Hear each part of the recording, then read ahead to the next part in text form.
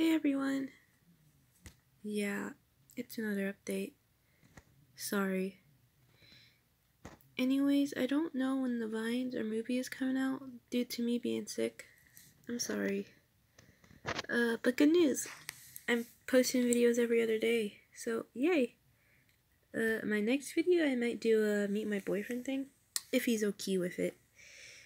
Uh, I might also do story times, cause, well, my life is crazy. I'm also doing covers. I'm starting to get used to my voice. As as you can see, I'm using my voice now.